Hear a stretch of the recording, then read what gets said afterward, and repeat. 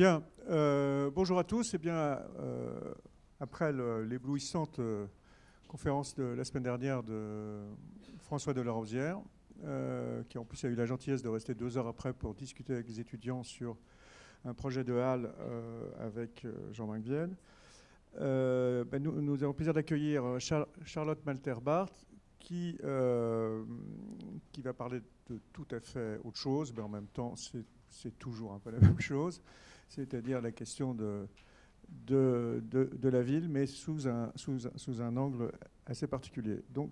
Euh, Charlotte est architecte, urbaniste et chercheuse euh, à, l'EDSA Marseille, puis elle enseigne maintenant à, l'ETH Zurich, qui est une grande école euh, qui parle allemand, principalement et euh, qui, qui, travaille de façon assez, très, assez méthodique et, de façon très ordonnée, de façon très intéressante à mon sens pour une école d'architecture sur les questions euh, du logement dans un certain nombre de mégapoles euh, du monde. Donc, donc la semaine dernière j'étais au Caire, donc on a pu, je l'avais invité même avant de savoir que j'allais au Caire, donc je cherchais à ce que l'école puisse entendre un peu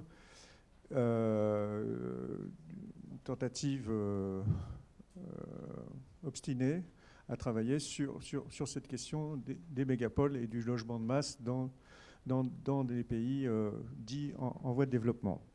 Donc merci Charlotte d'être venue. J'en profite pour donc... En plus, ça correspond à la sortie de deux livres magnifiques, magnifiquement maquettés. Ça, c'est l'école suisse, on va dire. Housing Caro, dont elle va parler largement, et Caro Desert Cities, tout ça à Ruby Press, qui est, qui est une boîte euh, à Berlin, à Berlin. Voilà, je te laisse la parole pour, pour une... Bon, merci pour, euh, merci pour l'invitation et merci euh, pour cette introduction. merci pour la pub pour nos livres, évidemment, mais je le ferai moi-même aussi, de toute façon. donc, je, je, voulais un petit peu contextualiser le travail dont je vais parler euh, donc, qui s'inscrit dans une recherche menée depuis 2008 euh, par la chaire de Marc Angelil, qui est donc ma chaire aussi, et euh, le DSS d'urbanisme, qui se traduit par en fait urban design ou projet urbain, amorcé d'abord par un cycle sur l'urbanisation contemporaine de l'Éthiopie, puis un cycle sur l'urbanisation du Brésil et un cycle sur l'urbanisation de l'Égypte dont je vais parler aujourd'hui. actuellement, donc le, dernier visuel que vous voyez à droite, c'est un, ça correspond au cycle que je dirige actuellement qui se penche sur la Méditerranée et sur les relations entre les questions migratoires et l'environnement construit. Donc, euh, on est passé, dans un, on est passé euh, à, des questions politiques euh, plus directes, en quelque sorte. en général, ces recherches et les travaux du studio se font en collaboration avec les autorités, donc au Brésil et en Éthiopie, en particulier, et aussi avec des universités, des partenaires locaux euh, en Égypte euh, et au Maroc. notre approche plaide pour une plus grande implication des professionnels, architectes urbanistes dans les processus d'urbanisation planétaire par la recherche, donc la compréhension des mécanismes urbains d'abord et par le projet ensuite, alors que la majorité du développement urbain mondial inéluctable se fait sans architectes. Euh, ce programme s'est intéressé à une plus grande inclusion des acteurs locaux et des citoyens, par exemple dans les quartiers informels. Euh, dans le cas du Brésil, on a d'abord travaillé sur les quartiers informels, disons les, fameuses favelas, et proposé des stratégies d'amélioration euh, en synchronisant des approches étatiques et participatives, tout en maintenant en fait la responsabilité de l'État. Et dans un deuxième temps, la réflexion s'est portée sur ce que j'ai choisi de vous montrer brièvement en introduction une réflexion portée sur le logement social de masse avec le programme d'habitat Mia Casa Mia Vida. Ceux qui ont travaillé sur le Brésil euh, doivent connaître ce projet qui euh, euh, tente de faire face à un manque de logements de 6 millions. Enfin, donc 6 millions de logements sont manquants au Brésil, en particulier dans les zones urbaines. Ce projet a déjà construit 1,5 million d'unités donc qui sont destinés en particulier aux, populations en revenus très modestes ou modestes, et qui sont gérés par des coopératives et des groupes sociaux. Donc c'est un exemple euh, typique. On a fait une phase de recherche d'abord qui a permis de comprendre euh, et d'analyser les conditions générées par ces logements de masse. Comme vous voyez, c'est assez répétitif, c'est loin qu'on puisse dire. Cet habitat prend des formes euh, de typologie monofonctionnelle, donc il n'y a que de l'habitat, très rigide, mais en fait, immédiatement, comme on voit euh, sur euh, les images appropriées par les habitants, bien entendu de manière informelle. Donc, sur le plan graphique, ici, de manière très claire, en haut à droite, les, bâtiments en noir sont en fait ce qui est rajouté par, les habitants. Et donc, en capitalisant d'une certaine manière, sur euh, ce qui se faisait déjà, on a réfléchi à des alternatives à, ce modus operandi classique avec des modifications de la typologie en respectant le découpage parcellaire et les surfaces. Donc euh, l'exemple à droite, euh, donc il y a cette petite bande de, de plans qui montre en haut l'existant et ensuite en bas ce qu'on pourrait faire, tout en respectant donc les, parcellaires et le, parcellaire et les surfaces. Euh, en vue d'obtenir des conditions urbaines euh, et générales meilleures, plus propices à l'appropriation et, à d'autres fonctions que juste habiter en fait. Euh, d'autres propositions ont été élaborées à plus grande échelle pour améliorer le modèle urbain et le type de quartier proposé par ce programme Casa Mia Vida, tels que des espaces publics et collectifs par exemple, et un plan directeur entier qui a été repensé avec des propositions sous forme de lignes directrices qui suggèrent une approche participative d'abord, donc plus de, plus de, consultations et euh, des propositions au niveau urbain et architectural pour améliorer les conditions générales euh, et des alternatives au plan de développement actuel. Donc euh, ici, on voit un concept de maison évolutive, de growing house, qui, qui est porté à l'échelle d'un quartier qui propose une typologie capable de s'étendre verticalement et horizontalement selon les besoins des habitants, par exemple. donc ces lignes directrices, elles ont été distribuées sous forme de cartes aux autorités et en fait, elles ont été approuvées par les autorités municipales et les agences de développement local euh, au Brésil. Donc il y, avait, euh, il y a eu un vote et il y a eu une, un, accord de principe. Euh, et puis, puis le gouvernement a changé. Ce qui indique, je pense, la fragilité de ces projets, comme on dit, unsolicited, donc les projets spontanés sont toujours un petit peu dépendants de, des, politiques gouvernementales. Donc, s'appuyant sur ces recherches précédentes et avec une volonté de s'engager dans les problèmes d'urbanisation urgents, euh, le programme s'est embarqué, donc sous ma direction, sur le cas du Caire.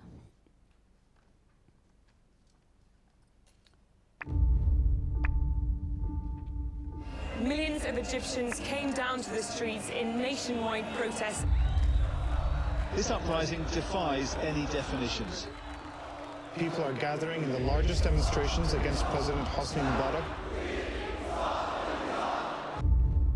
قرار السيد الرئيس محمد حسني مبارك بالتخلي عن منصب رئيس الجمهورية تذاكر ولا تعمل ايه بالظبط؟ خليني أحكي لك القصة ابتدت إزاي؟ ابتدت لما شوية شباب جدعان عشان يحاربوا الظلم والفساد والفقر. بداية التحرير أنا قابلت مجدي عاشور في الميدان. مجد عاشور هو أحد أعضاء الإخوان المسلمين. كنت في يوم من الأيام أتوقع إن نقف في ميدان التحرير. متضامنين كلنا مع بعض؟ كان بالنسبة لي تبقى صعبة. لو آخر نقطة دم طلعت مننا قوات مسلحة مش هيطلع طلقة فيهم والرجاء اللي معاه حاجة يلمها خمس دقايق ولا حاجة بتقول على الله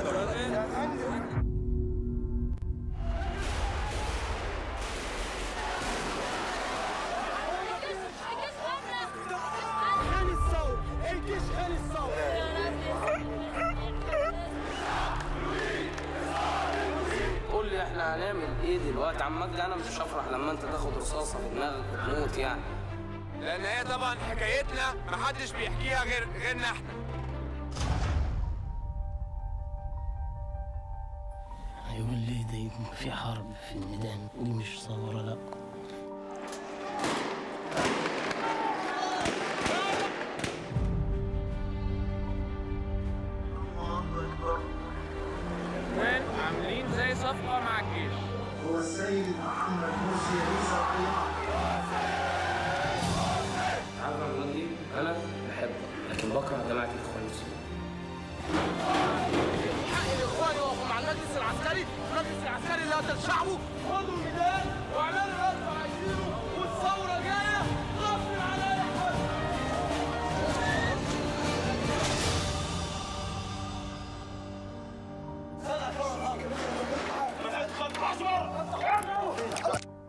لا j'ai choisi la bande-annonce de ce film euh, pour plusieurs raisons. pour vous réveiller d'abord.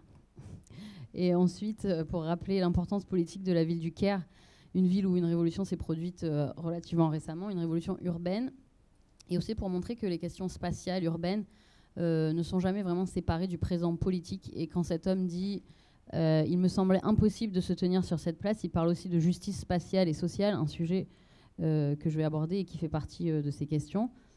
Enfin, certains experts disent, et c'est également mon avis, que les conditions urbaines du Caire ont précipité l'avènement de la révolution de 2011. Et ceci justement indique l'importance absolue, l'urgence qu'il y a à se préoccuper de l'urbanisation contemporaine qui porte en elle des questions sociales et économiques, et donc souligne l'aspect politique de la discipline architecturale et urbaine. Euh, un brin de contexte, la République arabe d'Égypte est un pays de 90 millions de personnes au sud de la Méditerranée, limitrophe de la Libye, du Soudan, d'Israël et des territoires occupés. La population est principalement installée dans la vallée du Nil et dans le delta, euh, ici en gris. Euh, donc on a 90 millions d'habitants, dont 36 millions d'urbains et 20 millions de ces urbains au Caire, donc sa capitale, qui est donc située au tout début du delta et qui, dans ses phases de développement, c'est étendu à la fois sur les terres du désert, qu'on voit donc ici clairement, euh, et les terres agraires, euh, donc la partie, euh, la partie verte qui l'entoure. habité en continu depuis plus de 1000 ans, devenu une ville moderne depuis une centaine d'années, le Caire est une métropole complexe, un mélange d'anciens et de nouveaux, d'Orient et d'Occident. C'est la description de Jeannette Abouligot, qui a été professeure de sociologie à Princeton, dans ce qui est considéré comme la première analyse urbaine moderne sur le Caire, euh, donc historiquement, le Caire est formé par une série de capitales, sans rentrer dans les détails. La première capitale islamique est Al-Fustat euh, en 640, puis la capitale des Abbassides en 751, et la formation de la ville islamique autour de 1190, qui euh, s'est développée à l'écart du Nil, puisque c'est un, fleuve aux crues régulières, et donc la partie, euh, la masse construite qu'on voit ici, c'est donc euh, ce qu'on appelle aujourd'hui le Caire islamique, le noyau arabe, euh, consolidé donc à peu près vers 1100. Les plus grands changements pour le Caire sont entrepris sous le Khedive Ismaël entre 1850 et 1870, alors que l'État s'engage dans la construction et l'aménagement urbain, distribuant des terres gratuitement aux princes et aux aristocrates pour qu'ils construisent la ville moderne. Donc le Caire au milieu du 19e siècle, euh, est principalement composé de cette ville islamique, euh, donc ici la partie euh, en rose, avec un tissu médiéval, et puis se développe sur la zone d'Ismaïlia le long du Nil, donc entre le Nil et la ville islamique, où se trouvent les vergers du roi, et où ce plan directeur pour les nouveaux quartiers sont mis en œuvre. Une vision importée par le Khedive lors de sa visite à Paris lors de l'exposition universelle en 1867. Ce Paris sur le Nil, comme on l'appelle, euh, a donc été érigé à partir de 1874. Euh, il présente des caractéristiques européennes claires, euh, plan rectiligne, grille radiale de plan, structure libre. Et surtout, on impose en fait des nouvelles normes spatiales inspirées par les règles urbaines européennes, telles que Haussmann pour Paris. Une politique de grands travaux. On voit ici la rue Mohamed Ali qui coupe de manière assez, assez brutale le tissu, le tissu de la ville islamique ancienne. Et euh, donc on voit cette, euh, ce développement sur les terres gagnées sur les berges du Nil. Le premier pont est construit, euh, Castle Nil, qui est donc en bas ici, est construit en 1870 par une compagnie française. Et on voit très clairement que le vieux Caire est laissé de côté avec la création de ce qu'on appelle aujourd'hui Downtown Cairo. en défaut de paiement, très endetté auprès des banques européennes, en partie à cause de ces politiques d'urbanisation, l'Égypte passe sous domination britannique en 1880. Les experts s'accordent à dire pour que la contribution, euh, que la contribution principale au Caire apportée par les Britanniques est la mise en œuvre d'un système d'égout. C'est assez important quand même. Entièrement équipé, bien sûr, et installé par des sociétés étrangères, puisqu'il s'agit principalement de capter les capitaux euh, égyptiens pour les redistribuer euh, au pouvoir dirigeant. Donc, la domination britannique est aussi marquée par le désengagement de l'État dans le développement de la ville, laissé aux investisseurs privés. Ce développement euh, se caractérise par euh, des lotissements autour de la nouvelle gare pour les étrangers et les Égyptiens des classes moyennes, sur des terres agricoles privées déjà. Et euh, la nouvelle ville d'Héliopolis, tout en haut au nord, est créée vers 1905 sur un plan directeur datant de 1894 par le belge, baron Ampin. Euh, donc c'est une ville nouvelle construite pour les classes européennes et les touristes étrangers, puis les riches égyptiens, qui est décrite par l'urbaniste égyptien Mahmoud comme l'entreprise la plus remarquable et importante pour le développement urbain moderne en Égypte.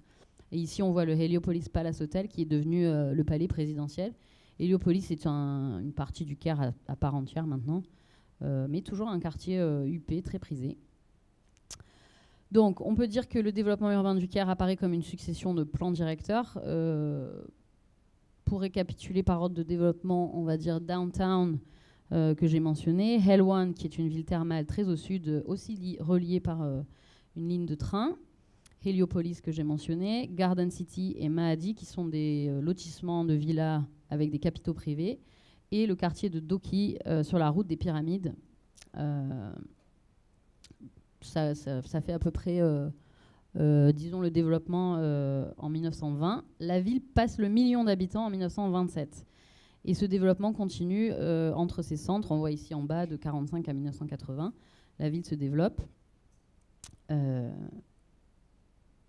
Et en fait, il n'y a pas de plan directeur pour l'ensemble de la ville jusqu'en 1956, alors que la ville explose déjà démographiquement. Euh, le plan directeur de 56, désolé, il est vraiment affreux, mais c'est le seul euh, qui est disponible. Euh, il est important parce qu'en fait, il envisage une ville de 5,5 millions d'habitants en l'an 2000, un chiffre dépassé dès 1965. Et en fait, ce plan, c'est à cause de ce schéma directeur que la succession d'autres plans n'ont pu que tenter de corriger cette erreur.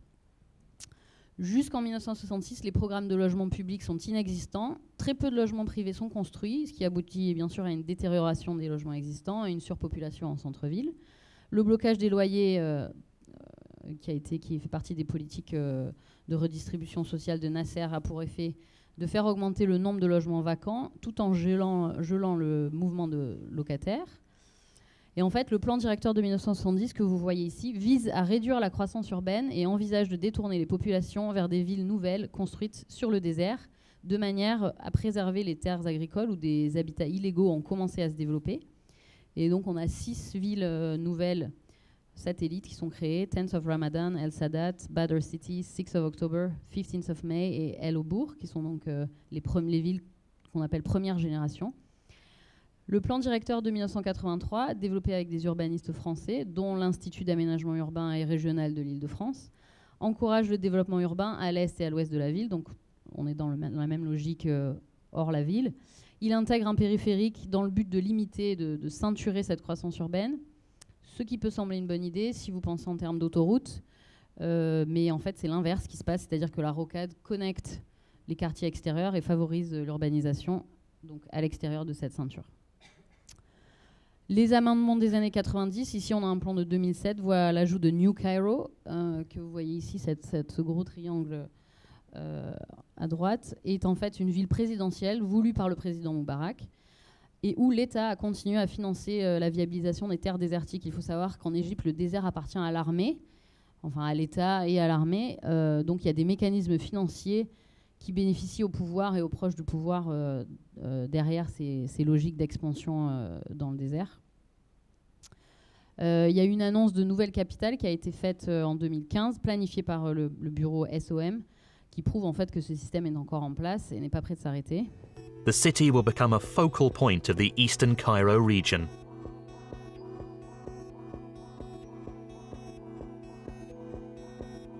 C'est une pub, hein Egypt's economy is now growing again. This project will be a catalyst for forward progress. This new city will help to strengthen and diversify the country's potential by creating new places to live, work, and visit. Greater Cairo is set to grow from 18 million people to 40 million people in 2050. This new city can take pressure off the wider area the country's population is young and dynamic. Over 75% of the country's population is under 30. Therefore, these new neighbourhoods will need to cater to future generations. The future city will be a complementary expansion to the wider metropolitan area, and it will be completely integrated within Greater Cairo with a new intercity railway link. Bref, ça sera génial, tout ira bien. Euh, donc, euh, comme vous voyez, la situation est la suivante. On a un exode rural et une poussée démographique importante, une paupérisation des populations marginalisées sans accès au logement privé formel. Donc toutes les villes du désert, en fait, elles produisent du logement euh, pas du tout accessible à la majorité des Égyptiens. C'est beaucoup trop cher, il faut avoir une voiture. D'abord, la plupart sont pas finis. Des programmes de logements sociaux inexistants et des investissements publics injectés en majorité dans les villes du désert qui restent inhabitées. Donc toutes les conditions sont réunies pour alimenter le développement urbain informel du Caire, euh, ce qui forme un élément caractéristique de l'urbanisme de la ville. Alors David Sims affirme qu'en 1950, il n'y avait pratiquement pas de logement informel autour du Caire et que les premiers développements sur les terres agricoles sont apparus au début des années 60 suite aux politiques d'industrialisation du président Nasser. Les programmes de logement public se sont avérés incapables de faire face à la migration rurale qui a suivi.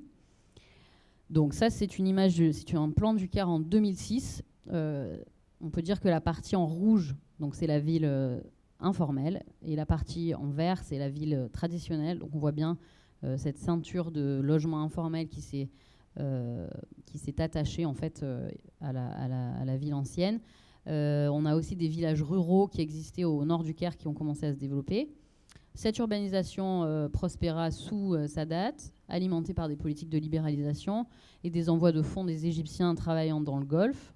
Donc, euh, euh, ces quartiers se sont développés avec plus ou moins de constance sous Moubarak et se sont accélérés après la révolution de 2011. Cette expansion est dite informelle parce qu'elle est illégale. D'abord, les bâtiments sont construits sans permis, sur zone agricole et sans respecter les codes d'urbanisme. Ces constructions sont caractérisées par des structures béton et briques, comme on voit ici, allant parfois jusqu'à 15 étages, et multiplier. Donc ça, c'est l'échelle, euh, disons, architecturale. Et l'échelle urbaine, c'est ça.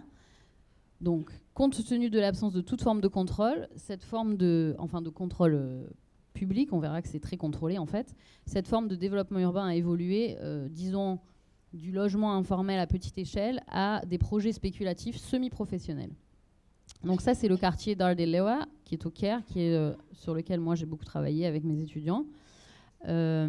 Ça, c'est le plan cadastral du quartier avant 1950. Euh, donc l'Égypte a une forme particulière de terrain agricole qu'on appelle les fedan, qui euh, sont des champs longitudinaux en fait de 200 mètres par 24. Euh, c'est lié à des au fait que ça soit en fait toujours connecté à des canaux d'irrigation qui viennent du Nil. Donc on voit les, gros, les, grosses, les grosses artères ne sont pas des routes, mais bien des canaux d'irrigation. Donc on a toujours cette, forme longitudinale. Euh, la zone en 1970, on voit à droite euh, le quartier de Mohandesin, qui est un quartier construit dans les années 60 euh, par et pour des ingénieurs. Aujourd'hui, c'est devenu, c'est encore un quartier UP, mais enfin, c'est, ça s'est densifié. Et puis, on, on s'aperçoit, rouge.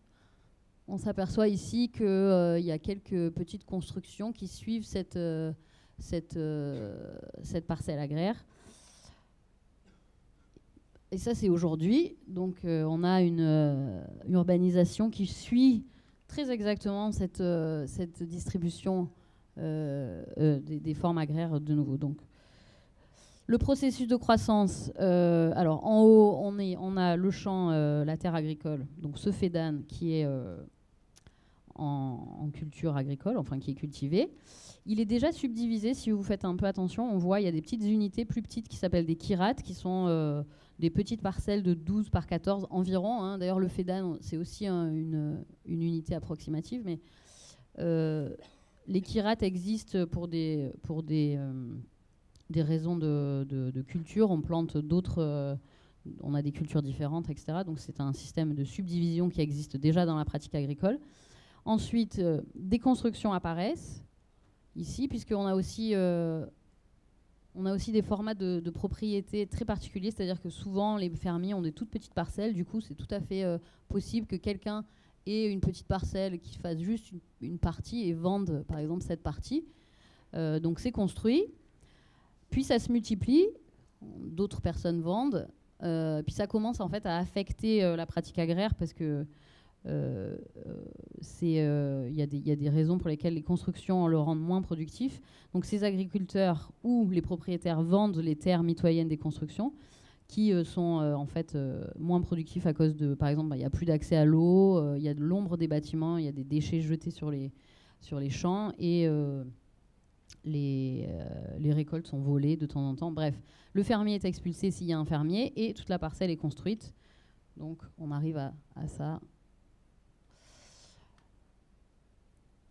Il y a une architecture typique qui est générée par ce processus. C'est des bâtiments aveugles sur trois façades, puisqu'on sait que ça sera construit derrière à droite et à gauche.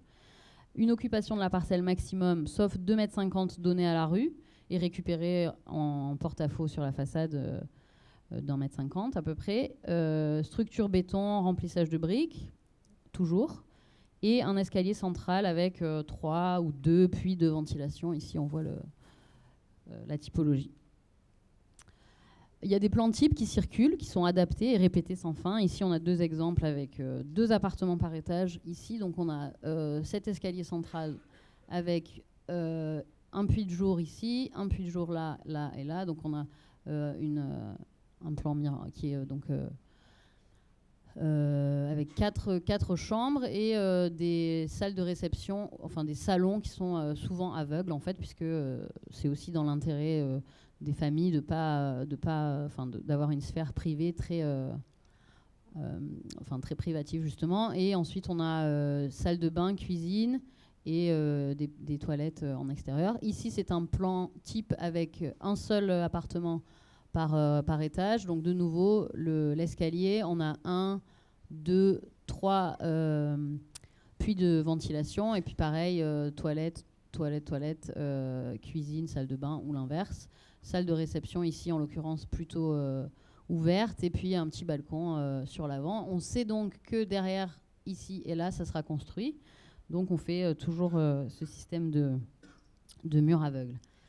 Cette typologie est répétée et génère en fait des rues longitudinales qui suivent ce fait d'âne hein, dont j'ai parlé, qu'on nomme des canyons urbains. Donc on a, on a des, des, façades qui sont très très proches les unes des autres en, façade, puisqu'on a récupéré ce qu'on a donné à la rue ici, et on monte jusqu'à 15 euh, étages. Alors, cette construction informelle est menée par des acteurs locaux qui cherchent d'abord à produire des logements standardisés à moindre coût, tout en générant un profit. Ces acteurs prennent part à l'ensemble du processus, mise en commun du capital financier, achat des terrains, approvisionnement des matériaux et de la main-d'œuvre, organisation et supervision de la construction et connexion aux infrastructures existantes, euh, sauvage, hein, donc euh, route, eau, électricité. Après la révolution de 2011, je dirais qu'il y a eu un changement notable dans les typologies de logement, passant de structures de faible hauteur euh, construites pour satisfaire une demande de logement immédiate à des tours de 15 étages, comme on voit ici, construites par des sociétés semi-professionnelles, achetées d'abord à but d'épargne plutôt que pour y loger. Alors en général, ceux qui se vendent bien, c'est jusqu'à donc 1, 2, 3, 4, 5, 6, jusqu'ici ça se vend pas mal parce qu'en fait, il y a des ascenseurs et en fait, personne n'a confiance aux ascenseurs. Donc, les étages, euh, après 6 étages, euh, se vendent très mal, restent inoccupés, puisqu'il y a aussi des coupures d'électricité. Et en fait, ils ont tout à fait raison de ne pas avoir confiance aux ascenseurs. À titre indicatif, on peut regarder euh, le type 1. Donc, vous voyez ici, c'est la maison d'Abdullah. il a un appartement de 73 mètres carrés par étage. Un appartement par étage. Et le type 5, ici, qui est euh, Haggad, qu'on appelait Megastructure, la structure de Haggad qui fait euh, 4 appartements par étage avec un tout 358 euh, mètres carrés euh, d'habitat. Alors, le type 1, c'est ça, c'est le scénario classique, c'est le scénario original, construit sur un kirat, donc cette petite parcelle dont je vous avais parlé tout à l'heure, qui fait entre 70 et 140 mètres carrés de terrain, ça varie. Ici, en l'occurrence, on a une parcelle de 10 par 8, donc c'est tout petit. C'est un bâtiment strictement résidentiel habituellement pour une famille qui a mis en commun ses ressources, famille élargie, hein, euh, peut-être au moyen d'un système collectif comme une gamaya au sein d'une famille élargie. Donc on peut aussi avoir, c'est un système qui existe aussi ici euh, informel, c'est-à-dire euh, on met en commun nos ressources et à tour de rôle une personne en bénéficie et ça, permet de construire, enfin ça permet d'avoir les fonds nécessaires pour construire. Le propriétaire de la parcelle organise ses travailleurs, il achète le matériel de construction, supervise la construction, euh, ou embauche un petit entrepreneur pour ça. Et la famille y aménage dès que le premier étage est complété.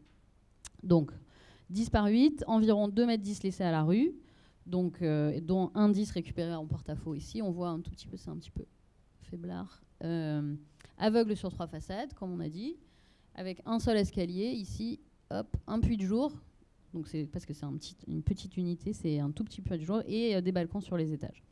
La construction est effectuée par étapes en fonction du financement et des besoins de la famille. Euh, souvent, on nous a demandé qu'est-ce qu'on apprend, qu'est-ce, que, qu'est-ce qu'on apprend de ces constructions? Et un des exemples que moi je trouve particulièrement intéressant, c'est cette idée qu'on puisse habiter dans des, maisons pas finies et justement profiter euh, de, l'évolution financière euh, d'une famille pour, euh, pour faire un étage supplémentaire. Je trouve que c'est un, un aspect très intéressant que nous, on ne fait pas du tout, alors qu'on pourrait tout à fait envisager de le faire. Dans ce cas-là, Abdullah a quatre fils, donc lui, il habite en bas. Il va habiter ici, c'est le plus petit appartement. Et ensuite, il logera un fils par étage. Puis comme c'est un homme moderne, il a dit qu'il donnerait à sa fille euh, le dernier étage. Euh, donc comme je disais, il est normal d'habiter dans des bâtiments inachevés. Ici, donc euh, ça c'est l'appartement d'Abdullah qu'il était juste en train de terminer de peindre.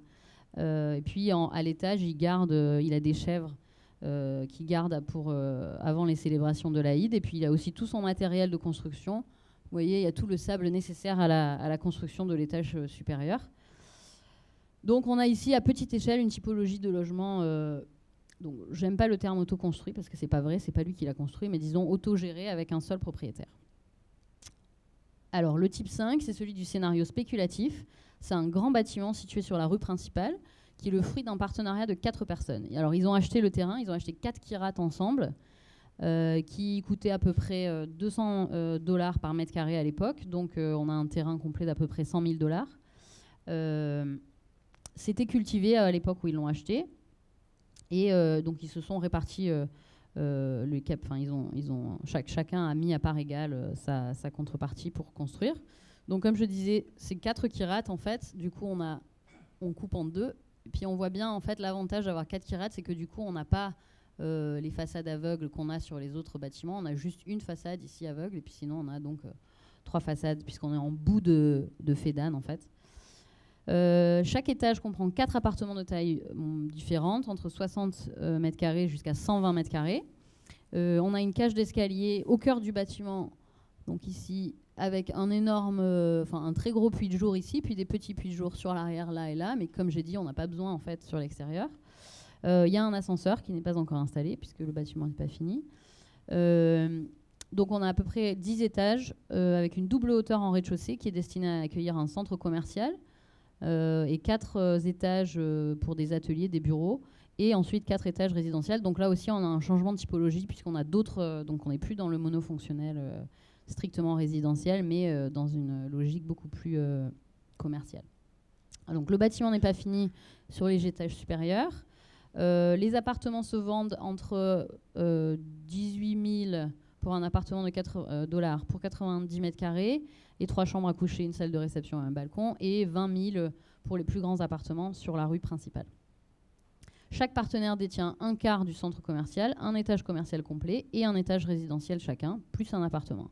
Tout ça, c'est réglé euh, de la main à la main. Il n'y a pas de papier, il n'y a pas de il a pas de, contrat établi, etc., etc. Par exemple, ils avaient, un problème, ils n'arrivaient pas à finir le dernier étage parce qu'un des partenaires n'avait pas euh, réussi à réunir les fonds. Du coup, ils attendaient, il n'y avait pas eu, de, a eu de, contentieux ou quoi que ce soit, on attend. Donc, dans l'ensemble, ça marche assez bien. Euh, ce développement compense de manière efficace le manque de logements abordables aux proximités des zones d'emploi, puisqu'ici, on est très très près euh, du Caire euh, traditionnel. On est à, à 5 minutes de, de, de Morin-Dessine. Donc c'est quelque chose qu'on ne trouve pas dans le quart ancien ni dans les villes nouvelles. Et en fait, les raisons pour lesquelles cet urbanisme généré par cette croissance urbaine informelle et problématique est essentiellement lié au manque de services publics. Donc il n'y a pas d'école, euh, l'eau, l'électricité est à, pourvoir par soi-même, c'est-à-dire qu'on se raccorde de manière sauvage euh, au réseau existant. Euh, et donc on peut dire de facto que ce sont des quartiers abandonnés par l'État. Et c'est aussi là où les associations religieuses caritatives menées par les frères musulmans, entre autres, ont pris euh, la place de l'État. Et euh, les inégalités criantes dont sont victimes ces populations a aussi contribué à la révolution de 2011. Et euh, je vous renvoie à, euh, à ce petit film que je vous ai montré tout à l'heure. Alors qu'on criait sur la place Tahir du pain, la liberté, la justice sociale, je dirais qu'il y a une relation directe entre cette urbanisation, le rôle de l'État et les troubles politiques. Notre programme s'est préoccupé de deux choses. D'une part, la réintroduction de l'architecture et des architectes et urbanistes dans un système dont nous sommes absents. Et d'autre part, l'argument que ça aussi, c'est la ville. Et en tant que telle, il est aussi possible de la concevoir et de l'améliorer au même titre que la ville traditionnelle classique. Alors le projet euh, ici, que vous voyez là, mesure très précisément les surfaces et les volumes utilisés par les escaliers et euh, les puits de ventilation euh, que je vous ai montrés dans les typologies existantes et propose une circulation circulaire en façade qui, une fois répétée, car cette répétition, on l'a vu, c'est un, un, élément important, génère des espaces urbains améliorés pour le même coût. Alors si vous voyez ici, on est dans une logique de dire si deux kirates sont construits de la même façon, on obtient euh, ce genre d'espace et euh, sur l'arrière on obtient ce genre d'espace aussi. Du coup, euh, l'idée est donc de, générer aussi des espaces urbains améliorés. les appartements sont ventilés par des claustras ou des ouvertures latérales. Donc on monte là, on passe derrière, hop, comme ça. Ça, on l'a montré à nos amis égyptiens et ils étaient critiques parce qu'il y avait des problèmes d'intimité, en fait, le fait qu'on passe devant votre appartement, euh, c'est pas pratique. Et surtout que dans les exemples que je vous ai montrés, par exemple, si on a euh, des familles élargies, souvent les femmes se voilent pas pour aller dans l'escalier, puisqu'on est dans un espace semi-privé. Du coup, euh, on, apprend aussi qu'on n'a pas à penser à tout quand on projette. Hein.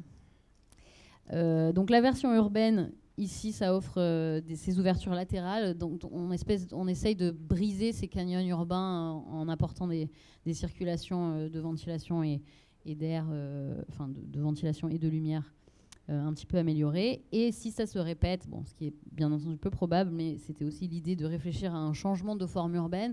On a donc à l'opposé de ce qu'on a en ce moment, qui est donc ça, on a une forme urbaine bien plus poreuse. Un autre exemple euh, capitalise sur la solidarité existante, cette idée qu'on met en commun les ressources, et euh, estime que si deux propriétaires euh, font ça, donc construisent ensemble sur deux parcelles, donc on est, ça c'est ce qu'on a, hein, avec ces, systèmes de, ventilation et de circulation, et donc des parcelles dos à dos qui s'ignorent. Si on réussit à, conjuguer entre guillemets cette, ces conditions, on obtiendrait euh, une vraie cour intérieure qui offre un espace à la fois privé et collectif, un usage commun de la toiture et de la cour, et évidemment la, création d'une façade arrière qu'on n'a pas euh, dans la typologie existante. Euh, cet exemple propose aussi des cuisines et des balcons collectifs qui, ça, ça n'a pas, plu, ça pas plu non plus. L'idée de la cuisine collective, Mais enfin, on a proposé une autre, manière de voir. Ça fonctionne aussi sans cuisine collective. Et aussi une autre esthétique, puisqu'on a ici une façade plus léchée, qui sous-entend que la brique n'est pas automatiquement un symbole de pauvreté, mais peut être traitée comme un matériau noble, euh, un peu à la Louis Kahn en quelque sorte. C'est aussi ce que fait cet exemple avec cette façade euh, en brique, bien que l'aspect le plus intéressant de ce projet est que le groupe d'étudiants est allé trouver euh, nos ingénieurs structures de l'ETH de l'école polytechnique de Zurich et on travaillait sur une optimisation de la structure existante. Euh, donc ça, c'est ce qu'on a maintenant et ça, ce qui est proposé. Donc on a euh, 9 poteaux rejetés à l'intérieur et non 19 comme il en est l'usage, ce qui permet une, meilleure flexibilité du logement et de nouveau la création de cette façade arrière qui sert de, de puits de jour et de ventilation comme on voit sur ce plan, donc ici et là. Euh, cet exemple, pour conclure, a aussi réussi à réduire la structure. Il propose euh, un plan assez classique avec des puits de jour de nouveau en façade arrière. Ici, hop, hop. Euh, et puis un plan miroir avec des, espaces servants agglomérés. Celui-là, il a beaucoup plu à notre ami investisseur, investisseur en l'occurrence, puisque quand on a présenté, on a fait une petite exposition la semaine dernière euh, dans le quartier d'Ardileva. Et on en fait, on s'est un peu mis d'accord, je crois qu'on peut dire ça, pour construire cette typologie sur une parcelle euh, qui lui appartient. Alors, affaire à suivre. Et ici, peut-être juste un mot pour dire que nous avons cherché et établi le dialogue avec les autorités locales. Et en, en 2015, on a présenté à Laila Iskander, euh, qui était à l'époque ministre du Développement urbain et des quartiers informels en Égypte, ces projets qu'elle avait trouvé très intéressant. Et du coup, on était assez euh, optimiste sur, euh, sur la possibilité de faire une différence euh, sur, sur, sur cette condition. évidemment, il y a eu un remaniement de cabinet. Donc, ce qui s'est passé, c'est que le ministre le ministère du Développement urbain et des quartiers informels a été tout simplement euh, passé à la dissous, passé à la trappe. Enfin, il a été transformé en sous-secrétariat. Euh, autant dire que, apparemment, ça prouve aussi l'importance euh, accordée aux questions urbaines par les gouvernements actuels.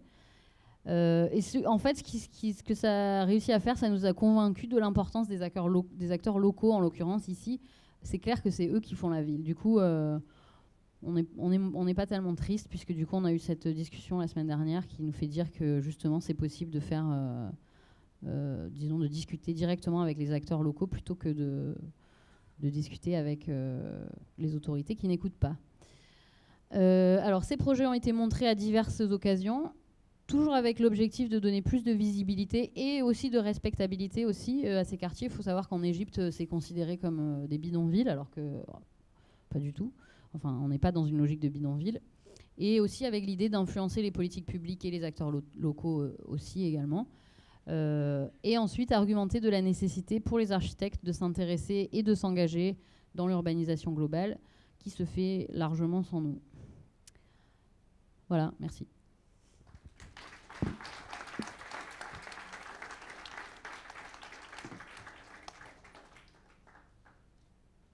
Il y a peut-être des questions? On n'a pas fait de comparatif euh, sur le CAIR, c'est-à-dire qu'on a, on a fait euh, l'étude euh, sans regarder autour. Mais moi, je travaille par exemple sur le Maroc un petit peu, et puis je, connais un petit peu le contexte régional, disons. Effectivement, on retrouve cette typologie de, surtout, moi je dirais plutôt de matériaux, c'est-à-dire qu'on trouve toujours cette, voilà, béton, structure béton, remplissage de briques, qui, est, quelque chose de en fait, c'est le, mode de construction le plus. Euh, d'abord, c'est relativement économique et puis euh, c'est stable. Du coup, euh, nous, ce qu'on avait, ce qu'on avait, disons, ce qu'on avait découvert entre guillemets, c'était par rapport à l'Égypte que, comme beaucoup de gens ont travaillé dans le Golfe, il y a eu aussi un transfert de savoir par rapport à la construction, la fabrication du béton en particulier, qui a définitivement eu un impact sur euh, l'urbanisation, en tout cas au Caire, et sans doute a disséminé aussi une certaine euh, manière de construire euh, dans cette région. C'est pas que, que là, hein, parce que par exemple les Balkans, si vous connaissez un petit peu le contexte Kosovo ou Albanie, on est aussi dans une logique de construction en, béton et briques, donc c'est quand même un, c'est, un système de construction qui est devenu qu'on voit partout, quoi, en fait. Après, les logiques foncières, je pense que le CAR a vraiment un aspect particulier qui est lié à cette, euh, à son, à son, à cette parcelle agraire euh, qui a une forme très particulière et du coup qui génère cet urbanisme euh, assez intéressant, qui marche pas mal, moi je pense. Mais il y a d'autres endroits, par exemple, où c'est construit sur le désert, donc c'est beaucoup plus organique. On est dans, une, dans des formes urbaines très proches de la ville islamique, en fait. On a des, des, des, rues avec des méandres, c'est beaucoup plus organiques, alors que ça, c'est quand même très particulier. Euh. Donc je pense qu'il y a des aspects qui sont spécifiques au CAR, en l'occurrence. Bon, d'abord, tout ce qui est politique publique. Euh, par exemple, euh, tout ça, c'est illégal, alors que, par exemple, au Maroc, on construit, ça ressemble beaucoup, c'est un peu plus propre, disons, parce que c'est formel, donc il y, a des permis de construire, mais en fait, l'architecture est très proche de ce qui se construit là. Donc, disons que cet aspect formel, informel, c'est très particulier pour le CAIR en particulier, disons. Mais euh, effectivement, cette architecture, euh, on la retrouve ailleurs. Euh. Ça vaudrait la peine de se pencher sur, sur cette question de, s'il y a une, logique en fait entre ces. Enfin, il y a une logique certaine, mais est-ce qu'on peut tracer une certaine histoire de. Que, oui. Ah, ce qui est évidemment très spectaculaire, et notamment pour les architectes, c'est le côté quasi mécanique quasiment grille de Manhattan qui, qui existe sans, exister. Euh, il y a un, très beau livre qui Habiter New York de Richard Ploutz chez Mardaga qui raconte parfaitement le jeu triangulaire entre, alors là qui est plutôt binaire, hein, entre, entre la municipalité, les développeurs et, les architectes et comment la règle évolue et comment les blocs se densifient, etc. Ce qui est très proche de ce que, ce qu'a raconté Charlotte sur, sur, les blocs. derrière ça, la, la grande question qui, qu'il y avait au début, de, quand, dans les années 60, c'est parti comme, un, comme, le feu dans la plaine, cette, forme d'urbanisation à partir des canaux d'irrigation qui font des rues de 4 mètres pour quelquefois 4 mètres 50 pour des, pour des hauteurs, c'est la consommation des terres agricoles. Donc c'est pour ça que les privés et l'État vont plutôt du côté du désert. En plus, comme l'armée est impliquée, des grands spéculateurs. Et, donc, on continue à consommer de la terre agricole à partir de ça. C'est surtout ça une grande discussion. Je crois que tu fais ta thèse sur la, compétition entre l'agriculture et l'urbanisation dans le cas égyptien. Ce serait intéressant que tu en parles. Comment, l'urbanisation a beaucoup de mal à, enfin, l'agriculture a beaucoup de mal à, tenir sur l'urbanisation. C'est ma première question. Puis, la seconde, c'est peut-être de raconter le cursus, c'est-à-dire comment, pratiquement comment, combien d'étudiants, euh, combien de temps, euh, qu'est-ce que ça génère dans une école, etc. alors l'aspect compétition entre agricole et, urbain, je pense que c'est une question qui en fait apparaît ailleurs, donc qui, est, qui est symptomatique de, de, notre temps, c'est-à-dire on a une, phase où, la ville détruit en fait son ce qu'on appelle euh, en anglais euh, footprint. Donc, sont, en fait, sont, les villes sont toujours euh, ceinturées par des, zones agricoles qui les ont nourries à une certaine époque, qui sont les premières victimes évidemment de la, croissance urbaine. Le cas du Caire est d'autant plus dramatique que l'Égypte est un pays qui n'a pas beaucoup de terres agricoles au départ, qui est donc de plus en plus dépendant sur dépend en fait des des, euh, des importations alimentaires euh, pour, euh, pour se nourrir. Il y a en plus en Égypte tout un aspect politique qui est lié au fait que le gouvernement a un, programme de pain gratuit distribué aux populations. Du coup, il y a un aspect très politique romaine du pain. Donc, bien sûr, euh, euh, l'Égypte ne produit pas assez euh, de grains pour pouvoir, pour pouvoir alimenter ce système. Donc on est dans une logique assez, disons, suicidaire un petit peu, puisqu'on est dans une... on n'a plus assez de terres agraires pour produire ce qui sera...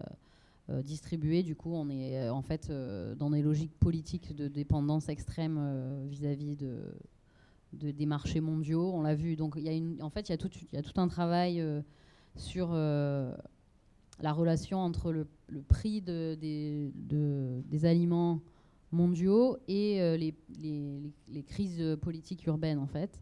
Et on sait qu'en 2008, quand les prix ont monté, il y a eu des, y a eu des crises dans beaucoup de villes, du, du, en Égypte et en Afrique et dans d'autres endroits. Et en fait, euh, on sait aussi que 2011 correspond aussi à, un prix, euh, à une montée des prix euh, alimentaires. Donc il y a aussi une corrélation entre ça. après, la compétition entre l'urbain et l'agricole, elle est perdue. Il n'y a pas de.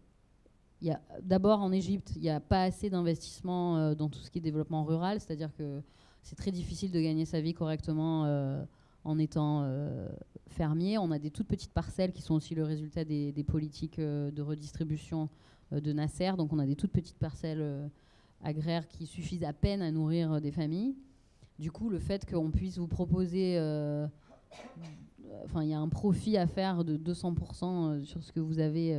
c'est très difficile de résister à ça. Et en plus, si vous êtes trop près des, bâtiments euh, enfin de l'avance. si la ville avance, vous êtes, euh, vous êtes perdant hein, d'un point de vue euh, de la production agricole, puisque en fait, les, paysans avec qui, enfin, mes cas d'études avec qui j'ai parlé, qui sont tout autour de ces zones urbaines, ils plantent plus que du fourrage pour les, pour les animaux, puisque tout ce qui est consommation humaine est, pas, est, plus, plus possible en fait.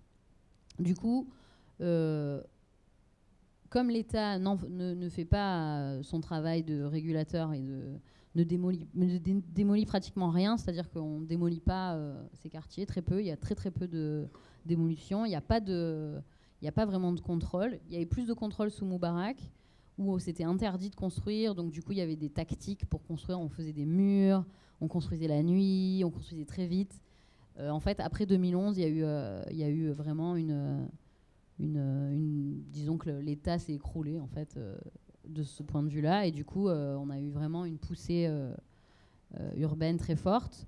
on peut pas en vouloir aux gens qui n'ont pas confiance aux banques et qui préfèrent investir leur épargne dans du construit, même si on a vu, donc c'est pour ça qu'on a vu aussi cette, ces modes spéculatifs qui, qui produisent des, tout à fait. Au Caire, il y a 20% de logements vacants. de toute façon, entre les villes nouvelles et aussi dans l'informel, puisqu'on a des trucs construits qui ne sont pas habités en fait, qui sont strictement là pour, pour servir de, d'investissement. Euh. Bon, après, les Égyptiens, ils disent toujours on achète pour euh, quand mes enfants se marieront, on achète, euh, on, place en fait de cette manière, parce qu'on n'a pas confiance aux banques, et on a raison d'ailleurs. Du coup, on peut pas en vouloir. C'est un système qui est. ouais, donc donc il n'y a pas vraiment de. Il a pas vraiment de stratégie possible du point de vue rural pour contrecarrer cette, cette avancée la, seule chose qui peut se passer, c'est une espèce d'essoufflement de, la, de, la, demande informelle. Si on réussit à vraiment compenser euh, avec les villes nouvelles, moi je, suis assez sceptique puisqu'on voit que ça marche pas. Euh, c'est trop cher en fait pour les gens. Ces gens-là n'ont pas les moyens d'aller s'installer dans des villes nouvelles où il n'y a pas de travail, il faut avoir une voiture, euh, ça coûte trop cher en location. Bref, ça marche pas de ce point de vue-là. S'il y a un réajustement des politiques publiques sur l'accessibilité à ces logements, peut-être qu'on aura un, ralentissement. Euh, et ça, peut-être doublé d'une disons d'une approche un peu plus rigoureuse sur la construction informelle. Donc c'est assez, c'est assez déprimant en fait d'un point de vue, enfin pour d'un point de vue agricole, c'est pas, ça se passe mal, disons. C'est pour ça que la question des, des, villes nouvelles est assez intéressante parce que ça a été beaucoup décrié à, juste titre parce qu'on a mis dans le désert des gens qui ne pouvaient rien y faire. Mais maintenant, il y a une seconde génération qui arrive, puis la troisième de l'espèce de, ville forteresse pour, pour, pour, les ministères. Là. Euh, mais il y, a, des. Enfin, ce que j'ai constaté la semaine dernière, c'est notamment David Sims, qui est le, grand, le grand spécialiste du Caire. J'ai commandé le livre, euh, le grand livre de référence qu'il a fait sur, sur le Caire et qui, est, qui a passé la semaine au, jeu du chat à la souris pour avoir les bonnes statistiques sur ce qui se passe dans les villes nouvelles. Donc la question d'avoir les, statistiques de ce qui se passe dans les villes nouvelles, savoir qui commencerait à y venir, est devenu un enjeu politique majeur, parce qu'à ce moment-là, tous les mecs qui défendent les nouvelles villes nouvelles disent Mais non, vous voyez bien, la ville nouvelle, ça marche. Et donc, c'est un sujet. Euh, moi, j'ai pas eu le temps, d'aller voir ce qui, même des visus, de voir s'il y avait des choses qui se développaient du point de vue de l'activité. Mais dans les trois ou deux ou trois générations de villes nouvelles, euh, pour, pour, le processus que, que tu annonces, c'est de dire, ah bah oui, l'informel pourrait ralentir, on fait une offre euh, possible. Cela dit, euh, ce qui est complètement bidonné, c'est qu'ils ne font pas les transports en commun. Donc l'absence de transports en commun à part deux lignes de métro historiques et une troisième en construction, y compris celle de, de la, grande capitale qui, est en train de sortir des sables, c'est ce que vous voyez, oui, complètement. Voilà, c'est ça, New, New, Capital, qui est une espèce d'urbanisme de secteur euh, très débile, et, sur lequel ils disent Ah oui, alors et maintenant, il nous reste un truc à faire, c'est le transport en commun.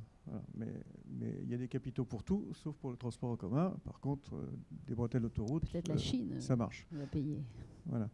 Donc, donc c'est, pour ça que c'est, c'est bah, une question intéressante de, de savoir s'il y a des éléments possible d'évolution ou, pas Sur les villes nouvelles, euh, bah, donc, le livre euh, qui vient de sortir se préoccupe justement de cette question. Euh, nous, on a visité 15 villes autour du Caire. La seule qui marche vraiment, c'est 6 of October. C'est la plus ancienne, en fait, c'est celle-ci à gauche, qui est une ville construite au milieu des années 70, qui, en fait, la raison pour laquelle elle marche pas mal, c'est qu'elle a une zone industrielle avec du travail. Du coup, on a euh, un peu de logement public qui marche pas mal. Euh, ça génère, il y a des universités qui ont déménagé, des universités privées. Du coup, il y a quand même une certaine. Euh, c'est une, une vraie ville dans ce sens-là. Après, elle, est, elle a aussi ses défauts.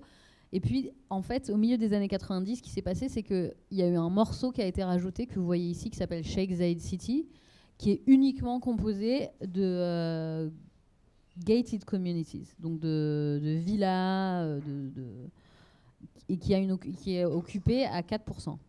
Donc on est dans des logiques euh, de génération de capitaux qui ne euh, sont pas habités. Quoi. On a des villes pas habitées. Mais si vous parlez aux Égyptiens qui ont investi, ils sont convaincus qu'un jour ou l'autre, ils iront habiter. Alors qu'en fait, c'est pas du tout vrai. Ils revendent on revend ce qu'on a acheté si on s'aperçoit que ça va pas. ou les seuls qui habitent, en fait, c'est les gens qui gardent ces, ces endroits-là, puisqu'on a toujours des gardiens, des gens payent toujours des sortes de concierges pour habiter à l'année, pour mettre, faire en sorte que ça soit surveillé, puisqu'on est, on fait attention à ce que ça soit pas dégradé, etc., etc.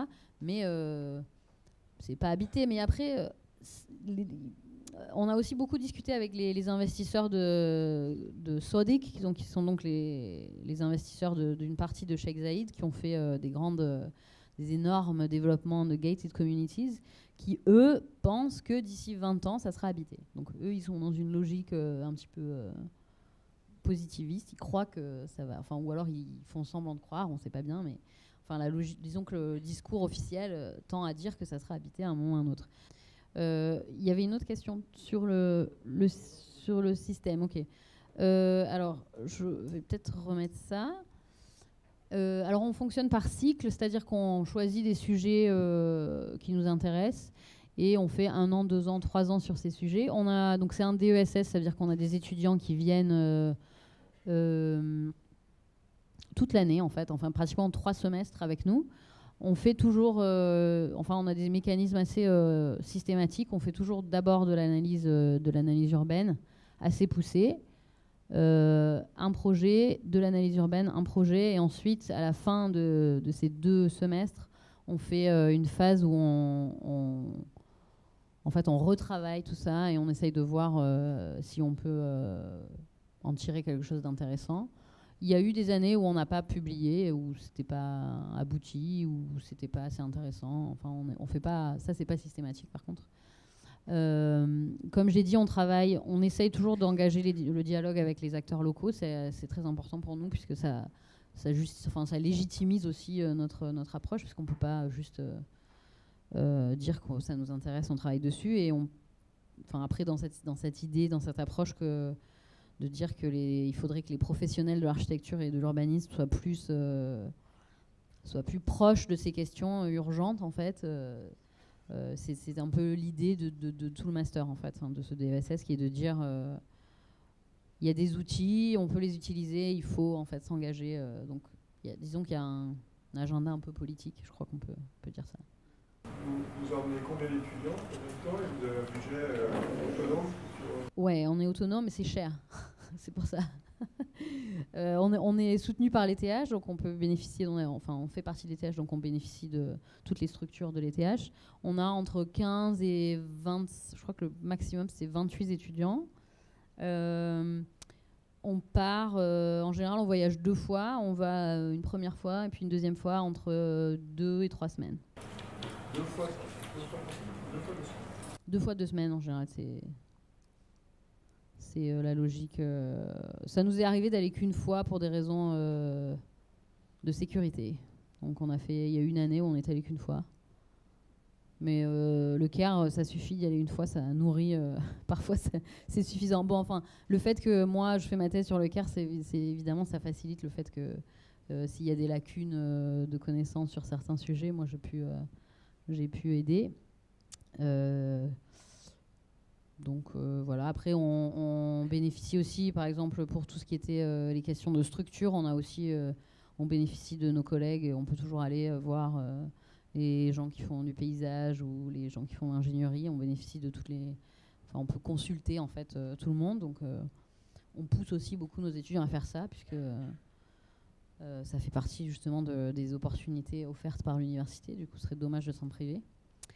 Euh, et après, on essaye de faire, euh, enfin moi, c'est pour ça que j'étais assez contente la semaine dernière d'aller faire cette petite exposition dans les quartiers informels. On essaye aussi de rendre euh, le travail, de montrer le travail, pas uniquement de, prendre et puis de générer des trucs pour nous, mais aussi de, de, rendre et puis d'engager des discussions. Avec le CARE, c'est pas toujours facile d'engager des conversations, mais c'est toujours très riche en général. Euh, on est un peu triste quand même que euh, dans ce cas-là, le gouvernement n'ait pas vraiment euh, marqué son intérêt, mais comme disait David Sims, il plane. Dans tous les sens du terme, Oui? Vous avez parlé d'espace public, en fait, et je voulais savoir, est-ce que du coup vous rendez pour eux ces... Vous rendez pour eux les, poreuses les rues avec le nouveau traitement des façades? Et je voulais savoir, est-ce que vous avez une réflexion par rapport au rez-de-chaussée et, et, comment les, propriétaires acceptent ou non de, de, prolonger la rue dans leur, dans leur bâtiment et s'il y avait des subventions par rapport à ça? Alors l'espace public, c'est le gros point, euh, enfin c'est le, c'est le parent pauvre des quartiers informels puisqu'on est dans des logiques euh, de spéculation privée, c'est-à-dire qu'on on achète quelque chose et on a on espère en tirer un maximum de profit, donc on, ne donne rien à la rue que euh, le minimum pour pouvoir circuler. On est dans des logiques très très, euh, donc ces mécanismes sont très très euh, très comment dirais-je logiques en fait. Donc on donne très peu à la rue. les arguments pour donner un peu plus, pour avoir des espaces publics, ils sont donc toujours liés à une logique commerciale. C'est-à-dire que, par exemple, cet exemple ici montre, euh, donc à gauche, on ne voit pas très bien, mais euh, c'est une, euh, crèche. Donc, on part du principe que si on réussit à générer un certain bénéfice lié à des pratiques commerciales, on pourrait convaincre le propriétaire de ouvrir son espace en rez-de-chaussée. On a eu aussi des exemples que je n'ai pas montrés là qui euh, qui font des espèces de calculs euh, au mètre carré près en disant si on récupère en façade, donc il y en a qui avancent encore un peu plus sur la façade ou en étage, euh, en disant si on réussit à, compenser ces mètres carrés en façade, on, on, donne à la rue un petit peu plus. Donc on a, des, des on a aussi des étudiants qui ont fait des, typologies en L, où il y a en fait une partie qui est donnée à la rue de nouveau avec cette logique commerciale en disant si vous avez un café, vous pouvez avoir le café euh, ici à cet endroit-là. Mais c'est quand même un des aspects les plus difficiles euh, de, cette problématique puisque euh, personne n'est prêt à payer pour l'espace public des subventions de qui? Il y a des endroits où il y a des espaces publics, c'est très intéressant. Les seuls espaces publics qui sont liés à des, à des erreurs de la grille, en fait.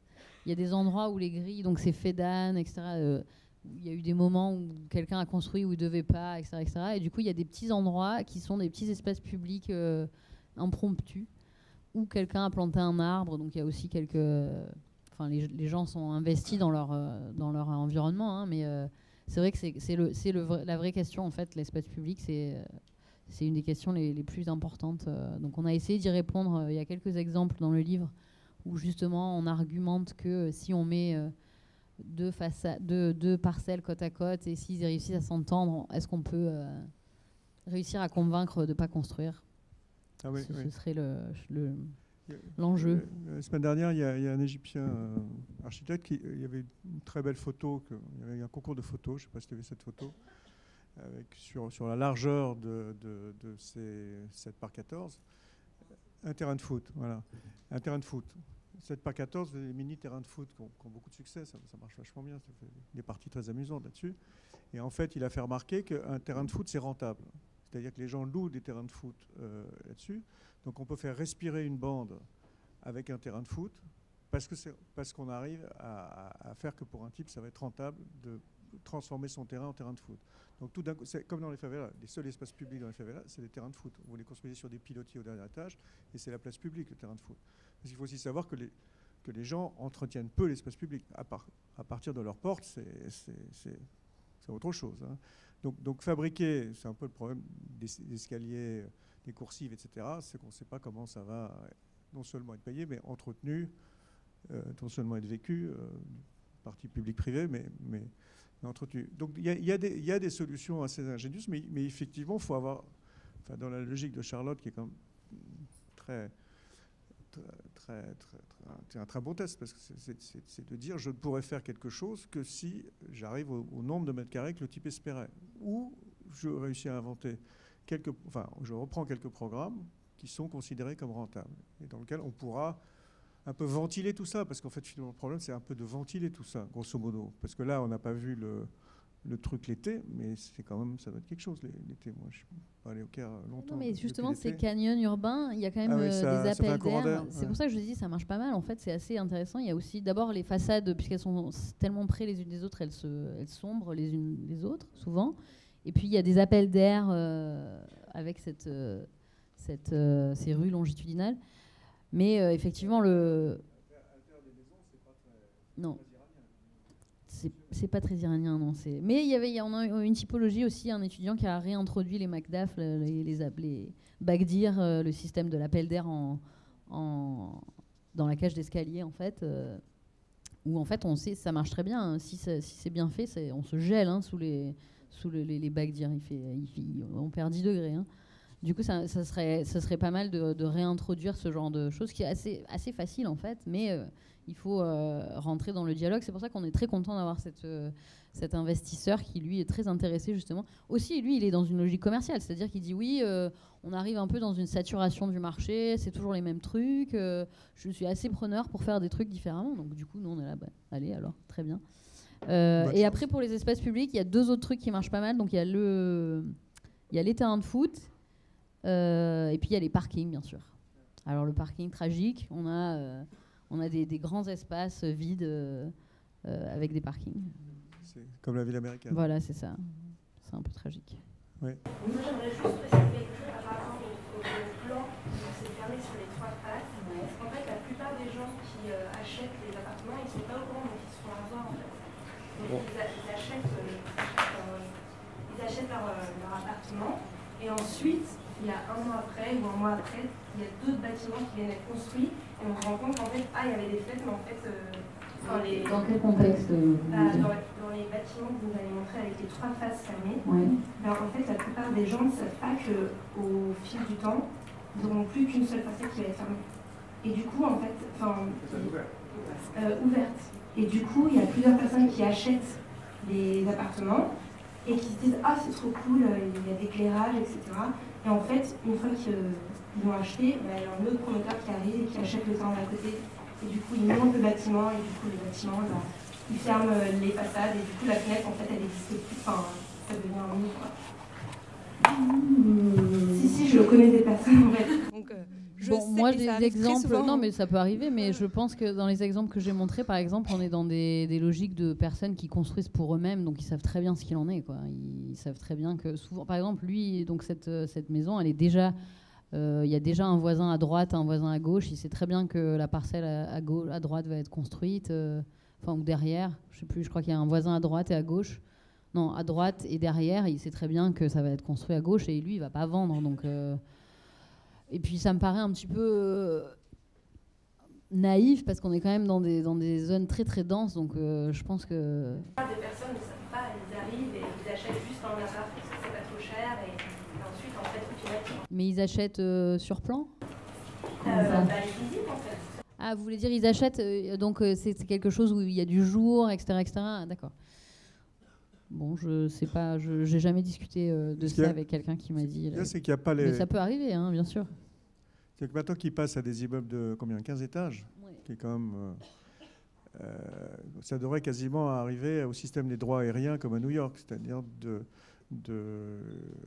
Mais c'est là où, l'État ne régule absolument rien, parce que dans, dans, dans Habiter New York, il raconterait très bien comment, à certains moments, quand ils sont arrivés à 80% de la parcelle construite, l'État a dit allez, on va s'arrêter là quand même. Et donc les types à ce moment-là ont remembré. C'est ça qu'on ne voit pas dans ils, ont plutôt fait. Enfin, si, c'est ce que tu racontes. Ils, ont pris deux qui ratent et, ils, passent à, ils une autre échelle pour faire une autre hauteur, mais qui menace le voisin et qui, et qui menace les, supposés droits de vue du voisin. Mais on n'est pas dans un contexte euh, des droits de vue. Euh, euh, que, les gens pensent qu'ils ont à vitam aeternam comme en Europe. C'est la structure qui, qui, définit le. C'est la limite structurelle qui, qui, va dire ils sont allés voir des ingénieurs. Hein. Ils ont vu un ingénieur qui leur a validé leur plan structure et qui a dit euh, maximum. Euh, je crois qu'ils ont droit à deux ou trois de plus, mais dans leur logique euh, financière, c'était pas nécessaire. Du coup. Mais lui, donc, il est très critique, ce développeur, par rapport à, à, cette logique spéculative. Il dit qu'il pense que le marché est saturé, en fait. Donc, il dit qu'il construirait, il construirait plus. Ça, c'est déjà un peu vieux maintenant. Puis ça a pris du temps à être construit parce qu'ils n'avaient pas les sous, etc.. Donc lui, il est dans une logique, euh, il dit qu'il pense que ça sera pas. ça, va se, ça va se tasser. Il y a un, truc que je voulais dire qui est assez intéressant, qui, peut aussi euh, peut-être vous intéresser par rapport à cette euh, question de, du marché de la manière dont les gens achètent leur appartement. Par exemple, ce développeur-là, lui, il habite dans un autre appartement pas très loin. Mais dès que son appartement sera terminé et qu'il va commencer à vendre ses appartements, il va déménager dans, dans cette structure parce que c'est une manière de prouver que le bâtiment est solide. Du coup, il y a cette espèce de non mais c'est on devrait forcer euh, les développeurs à faire ça non ce serait pas une mauvaise idée. On dit que les architectes habitent là, où, ils construisent. bah, en tout cas lui c'est ce qu'il fait du coup il déménage euh, donc il va déménager il a un appartement il a pris un appartement euh, qui lui allait bien et puis il va déménager il va déménager là pour prouver que c'est solide. Parce, parce qu'en fait l'idée c'est qu'il y a une espèce de mouvement d'aller-retour c'est que des gens aillent plutôt dans les villes dans les des, des émergents dans les classes moyennes aillent plutôt dans, certaines villes nouvelles. Euh, et ils laissent se densifier les choses et avoir une espèce d'économie informelle dans les villes nouvelles euh, de 6 October. Et, à l'inverse, que, le type évolue vers une chose un peu plus confortable pour que des, des classes moyennes émergentes aillent dans les tissus informels de faire une espèce de chassé-croisé. Enfin bon, modèle Oui, en fait, y a, de toute façon, je pense que cet exemple montre bien une chose, c'est-à-dire qu'on n'est plus du tout dans une logique de logement d'urgence, euh, de petite. Euh, de, quelque chose que, que quelqu'un qui vient d'arriver euh, de, de l'Égypte, de la Haute-Égypte, a les moyens de s'offrir. On est déjà dans des logiques. on a des appartements de 120 mètres carrés. Et, qu'est-ce qu'il fait, lui, alors?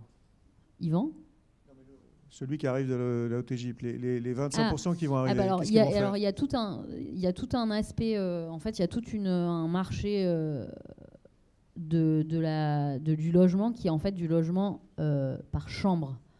Donc là, on est dans une logique beaucoup plus précaire du logement à la semaine, avec des salles de bain partagées, etc., etc., qui est beaucoup plus du logement aussi dégradé, enfin il y, a tout un aspect euh, qui, aussi se trouve dans ce, dans ce quartier-là, hein, mais euh, qui n'est pas dans une logique euh, constructive, mais plutôt d'occupation de, ce qui existe déjà. il y a aussi beaucoup de réfugiés dans ce quartier, par exemple. Il y a beaucoup de réfugiés érythréens, syriens, qui, qui, sont dans des situations de pauvreté extrême et qui, du coup, on trouve dans ces endroits-là des possibilités de se loger, puisqu'ils euh, sont près des centres urbains, de nouveau. Enfin, cette importance d'avoir un endroit où on puisse habiter près des centres, euh, près des, autorités ou de tout ce qu'on puisse. Plutôt que d'être dans le désert où effectivement il n'y a rien, c'est le cas de le dire. encore cinq minutes de questions, s'il vous plaît.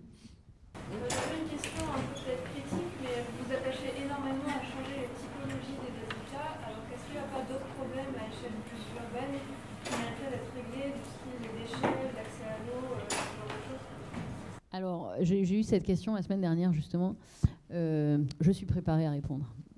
Euh, non, je plaisante. Mais bien sûr, euh, il y, a tout un aspect infrastructure enfin, qui, est, criant et qui est effectivement urgent. Après, par exemple, tout ce qui est déchets, de nouveau, ça marche très bien. On ne nous attend pas, c'est-à-dire que par exemple, le CAR a un système qui est connu d'ailleurs, je ne sais pas si vous vous intéressez un peu à la capitale égyptienne, mais il y a il y a une communauté euh, chrétienne euh, qui s'appelle euh, les Abalines, qui, qui, qui habite aussi une, un quartier informel de l'autre côté, du, de l'autre côté plutôt du côté du vers la, vers la ville islamique, qui s'occupe de recycler. Donc ils récupèrent tous les déchets, ils recyclent, etc. etc. le seul endroit où il y a un système réglé par l'État, c'est un sous-traité, c'est en sous-traitance Veolia, c'est pour Zamalek, et ça marche pas. Alors du coup, euh, tout ce qui est, euh, disons, euh, par exemple, la collecte de déchets, c'est un truc qui marche très bien. Après, tout ce qui est question réseau, nous, on a l'impression que c'est pas vraiment un endroit, enfin, c'est pas vraiment un sujet sur lequel on a une possibilité de changer quelque chose. C'est-à-dire qu'on peut émettre des recommandations, donc on a, on a, on a euh, par exemple, quand on travaille sur les villes de désert, on a, il euh, y a des étudiants qui disent, euh, moi je ne peux pas travailler sur ça si on ne part pas du principe qu'il y aura une, ligne de métro, par exemple. Mais on sait très bien que ces lignes de métro, tout ce qui, est lié aux décisions étatiques, en fait, est très difficile à influencer. Du coup, on est dans une logique un petit peu plus pragmatique, c'est-à-dire qu'on essaye de, changer ce qui est à portée de main. Bien sûr, ça peut être critiqué, vous venez de le faire. Mais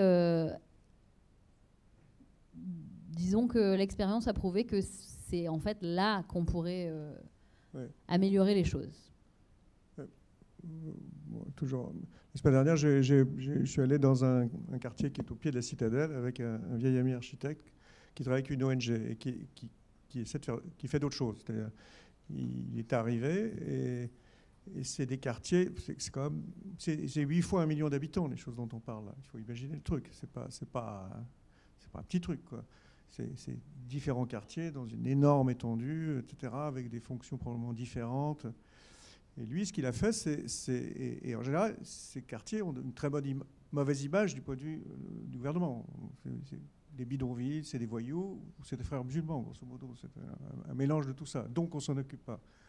Donc, euh, donc, lui, son, son, son, son, boulot et son, idée, c'est d'abord de faire reconnaître par le gouvernement le fait que les, types existent. Et se faire reconnaître par les types pour, dire euh, nous on ne vous prend pas pour ça et donc ils font go between. Donc il est allé, il a aménagé au pied de la falaise de la citadelle, c'est beau comme les trucs d'Avignon, de fond de carrière, j'ai pas de photo.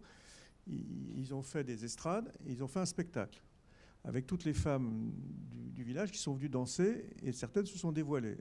Et à partir de ce moment-là, la partie était gagnée parce que et donc, il a amené le gouverneur là. Il lui a dit, bah, vous voyez, dans ce quartier-là, il manque ceci, ceci, cela en service public. En service public, il ne s'occupe pas du tout d'un travail d'amélioration du logement et des typologies. Donc, euh, l'école euh, met des trois ordinateurs, le, truc, il manque un, bout de réseau, fait que, etc. Et après, en sortant, j'ai longé un commissariat avec lui, un grand commissariat, bien fermé.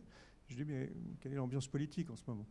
Il dit, oui, ils sont, très chauds. Euh, pendant la Révolution, ils étaient là. Et le commissariat m'a dit, tu rigoles, le commissariat, les types, ils sont en c'est-à-dire et puis euh, ils tapent le carton, c'est des gars du quartier, ils sortent jamais si c'est pour aller boire un coup avec leurs copains. Donc l'État n'existe pas, c'est ça qu'on a beaucoup de mal en Amérique du Sud, l'État n'existe pas pour commander un espace public. Euh, là, l'État n'existe pas, encore moins en tant que, service. Je, vais quand même. Il y a une petite, euh, une petite anecdote intéressante, enfin qui n'est pas du tout une anecdote, en l'occurrence c'est un, aspect important. Pendant la Révolution, donc ce quartier euh, que je vous ai montré, il est, il est, il est euh, ce qu'on voit là, c'est la grande rocade. En fait, c'est ce dont je parlais tout à l'heure, le périphérique, le périphérique construit dans les années 80. Et en fait, ce périphérique, il est il n'a pas de sortie, il n'y a, pas de, sortie pour ces, ces quartiers. Il n'y a pas marqué Ardileva 50 mètres. Ça va tout droit, ça sort beaucoup plus au nord ou beaucoup plus au sud. Donc il n'y a pas de. En fait, la route n'est pas connectée à ces quartiers. Alors en 2011, pendant justement cette, espèce d'absence, de, de, vacances du pouvoir, ils ont loué un bulldozer et ils se sont fait leur propre sortie. Donc il y a deux sorties qui ont été faites euh, qu'on voit pas, puisque ça c'est une carte euh, qui sont en fait ici, ici. En fait, ils ont transformé ça, donc il y a une rampe qui va comme ça et qui dans l'autre sens. Il y a deux rampes en fait qui donc connectent le quartier euh, à la rocade. Ils ont asphalté et ils ont mis un petit ruban et ils ont invité le gouverneur à venir couper le ruban. Donc le gouverneur est venu, ils ont coupé le ruban. Du coup, de facto, ils ont eu leur accès. Donc là, oui, Là, on peut dire effectivement, il y a une espèce de, prise en main euh, de la communauté euh, de ses besoins immédiats. Après, il y a des effets pervers. Ce qui s'est passé, c'est qu'évidemment, comme c'était connecté à l'autoroute, euh, bon, d'abord, il y a eu beaucoup plus de circulation, donc une détérioration, puisque ce sont des quartiers où il y a très peu de circulation, hein, une, certaine détérioration de la qualité de vie, et une explosion du prix du foncier, bien sûr, puisque du coup, on est dans une euh, dans, une, dans une zone connectée, alors qu'elle était beaucoup, alors qu'elle elle était connectée euh, uniquement au côté, euh, au côté droit avant. Donc il y a des effets hein, comme ça auxquels on ne pense pas forcément automatiquement quand, quand on raconte ces petites anecdotes intéressantes. Voilà. Bah, écoutez, je, trouve qu'il y a eu beaucoup de questions très, très, qui montrent un, un grand intérêt pour ces questions-là. Merci beaucoup Charlotte pour l'exposé très, très, très complet. Et je voulais donc signaler que la semaine prochaine, ça va être, euh, c'est Louis Gallois, qui est un grand commis de l'État, ancien PDG SNCF, de Airbus, etc., qui viendra parler de la question du logement du point de vue de, l'économie. Enfin, et peut-être, je pense qu'il va élargir, il va élargir le propos sur bien des questions sur lesquelles il est très, très au fait et, très accessible en, plus parce qu'il est charmant. Donc, et après, donc, sur Sao Paulo, on va avoir, non, on va avoir Ang, Ang qui est le directeur de l'école de Singapour d'architecture, qui vient parler du logement de façon honteuse, j'ai appelé ça innovant, c'est un terme que je n'aime pas du tout, mais il va parler en tout cas d'un peu de l'évolution de l'histoire du logement euh, à Singapour, où ils sont extrêmement au point, notamment sur les problèmes de gestion et d'entretien euh, d'une façon générale de, leurs bâtiments. Et puis donc, euh, il y aura l'ancien secrétaire d'État de Sao Paulo, qui est un, prof de l'USPI à Sao Paulo, qui viendra au mois de janvier, le 19 janvier, parce qu'il est prof invité pendant un mois. Euh, Nidal va vous envoyer euh, de ma part un mail pour vous rappeler le, problème du TD, puisqu'il y a des questions de format, etc. J'y reviens pas, mais enfin c'est huit pages, euh, un compte-rendu d'exposé, une revue de presse critique, grosso modo. Voilà. Merci de votre attention et Charlotte. どうも。